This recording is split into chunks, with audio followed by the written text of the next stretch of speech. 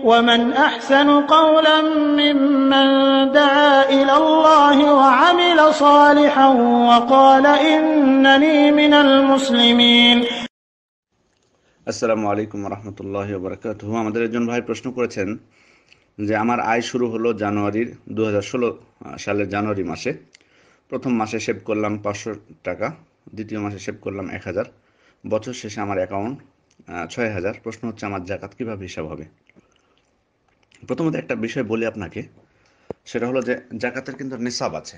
জাকাতের নিসাব আছে, অর্থাৎ একটা পরিমাণ অর্থ যখন হবে, তখন আপনার উপর জাকাত ফরজ হবে, তার আগে কিন্তু না।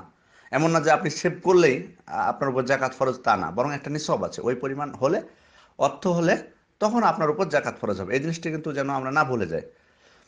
তো যাই হোক, আপনি উদাহরণ দিয়েছেন এখানে, সেজন্য আমরা এটা ধরছি না।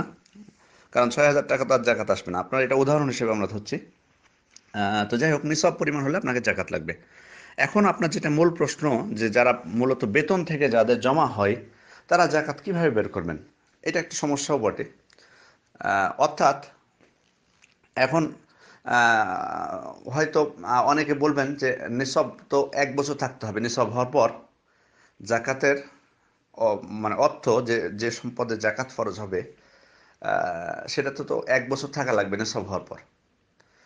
তো ওনার বেতন তো মাসিক আসতেছে। এখন প্রত্যেকটা অর্থের হিসাব তো এভাবে করে রাখা সম্ভব না যে কোনটার এক বছর হচ্ছে আর কোনটার এক বছর হচ্ছে না, এটা তো কঠিন বিষয়।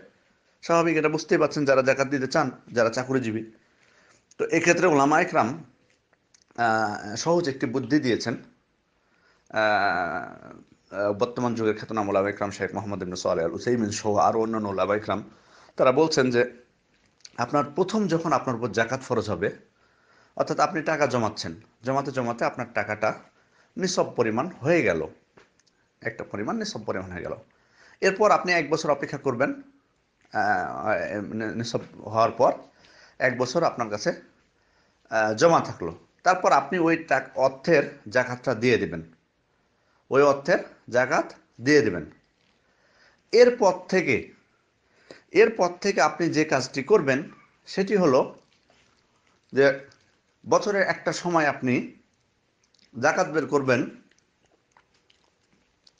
যখন আপনি বের করতে চাইবেন জাকাত, তখন আপনার কাছে যত টাকা আছে, সবগুলোর আপনি হিসাব করবেন। যত টাকা জমা হয়েছে, সবগুলোর আপনি হিসাব করে জাকাত বের করে দিবেন। চাই সেটা পূর্বের মাসের বেতন হোক, চাই সেটা পূর্বের মাসের বেতন হোক। তাহলে এখানে সুবিধা কি? সুবিধা হচ্ছে আপনার, হয়তো অনেকে বলবেন যে এক এক বছর, অনেক টাকা তো এর মধ্যে অনেক টাকা থাকবে, যেটা এক বছর পূর্ণ হয়নি, মেয়াদ।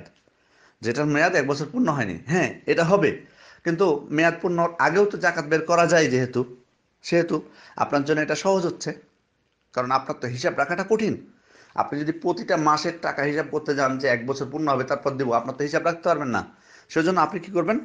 প্রথমবার জাকাত বের করে নিলেন, আপনার নিঃসব পরিমাণ হওয়ার পর এবং এক বছর হওয়ার পর তারপর থেকে বছরের একটা সময় নির্ধারণ করবেন যে আপনার কাছে যত টাকা আছে সবগুলোর উপর আপনি হিসাব করে জাকাত বের করে দিবেন। চাই সেটা তার পূর্বের মাসের বেতন থেকেও হোক। আশা করি বিষয়টি বুঝেছেন। জাজাকুমুল্লাহ খেরেন আসসালামু আলাইকুম রহমতুল্লাহ বারক